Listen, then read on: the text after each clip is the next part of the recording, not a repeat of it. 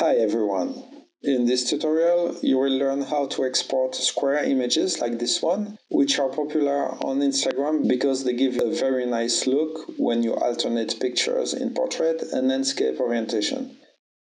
In my previous video, I explained briefly why using the print module is a great way to export pictures for websites, blogs, and social media, and this is a very good example of something that cannot be achieved in any other way in Lightroom, because it's impossible to add borders to your pictures from the export dialog box. So let's go to the print module. On the left, you'll see the template browser, which already contains some default print layouts for single pictures, contact sheets, and so on. I will use the first one, which displays a single 4x6 picture in the middle of the page, and this is actually quite close to what we need. You just have to make some changes to the layout. First, I'll set up the page to the correct dimensions in the print job panel, which is the last one on the right side. The first option you need to change is print to. Just click on printer and change it to JPEG. And next, enable the custom file dimensions. Since we will export JPEG files, the specific dimensions in inches don't matter at all. We only have to make sure we export in the right aspect ratio, in this case 1 by 1, and then the total pixel size is correct. For Instagram, all images should be 1080 pixels wide. The minimum dimension is 4 by 4 inches, so I'll enter that. And next, I will set the resolution in ppi or pixels per inch. And this image should be 1080 pixels wide. So if I divide that by the width, which is 4 inches, it gives me 270. So that's my ppi value. And the last thing I will adjust in this panel is the JPEG quality, which is currently set to 100. A quality of between 70 and 80 is more than enough for on-screen display, and the files will be much smaller, so I will set it to, let's say, 75 for now. And now I will go back to the top panels. In the image settings, I uncheck Rotate to Fit because I never want my pictures to be rotated when I export for Instagram, and I also uncheck zoom to fill so it shows the full picture instead of just zooming it and cropping the top and bottom. Now in the layout panel I will change the bottom margin to make it the same thickness as the other ones, but you can see that the picture size doesn't change when I do that, because it is contained in what is called a cell.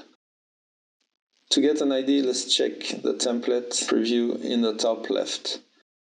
The cell is in the middle and can be smaller than the space between the margins. So even if you have just a thin margin or none at all, there still can be a lot of space around the picture depending on the cell size.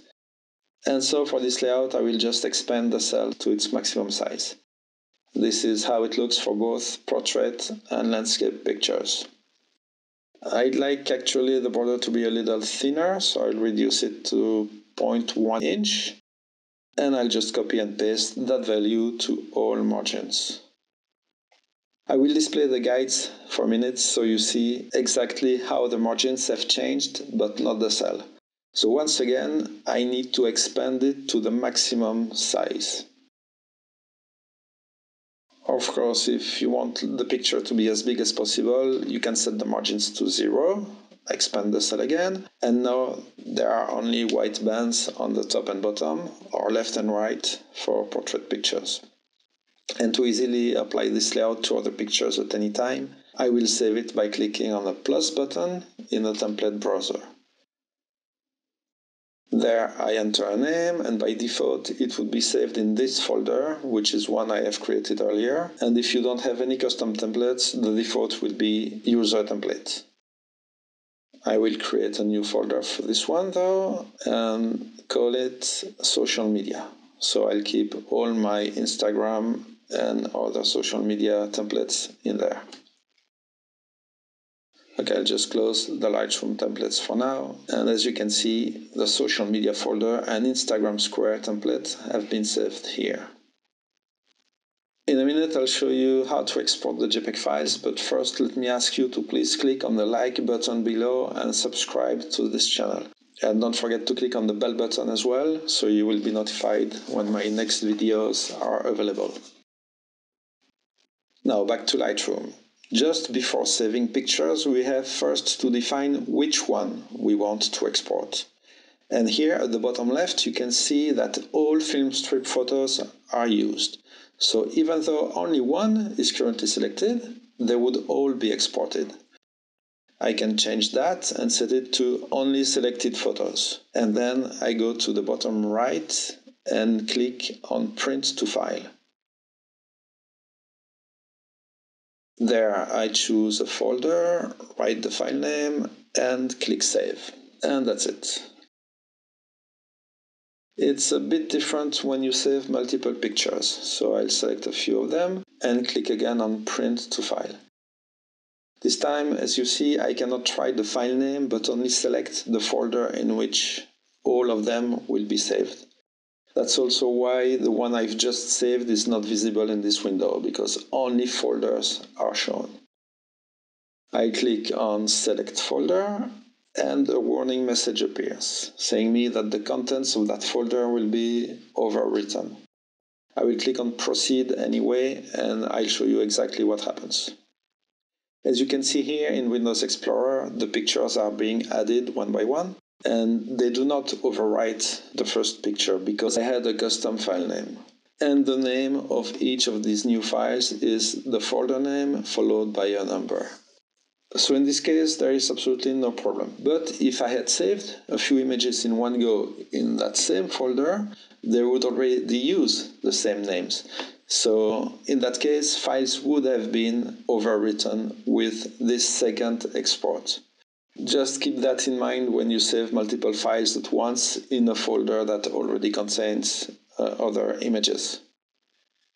Now finally, I will modify this layout to make a standard 4x5 image, which is the biggest a picture can be on Instagram.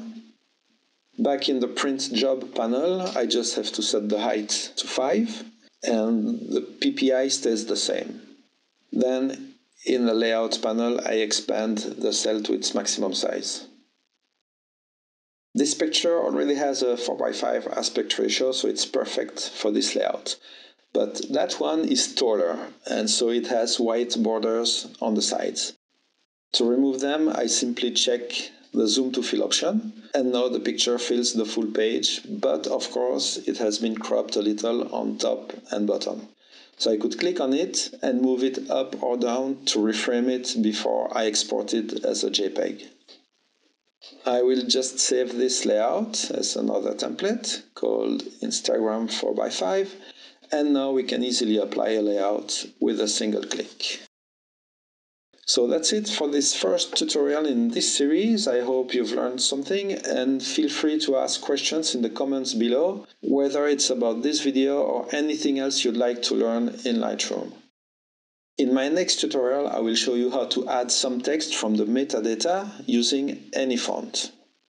And then in the following videos, you will learn how to add graphics and make awesome layouts with multiple pictures, perfect for social media stories, and also I will give some tips to keep track on which pictures use which templates and more generally some advice on keeping organized in Lightroom Classic. So still a lot to learn in this series. Once again, don't forget to like this video and also share it if you think your followers might be interested. It would be really helpful. And thank you very much for watching and see you soon.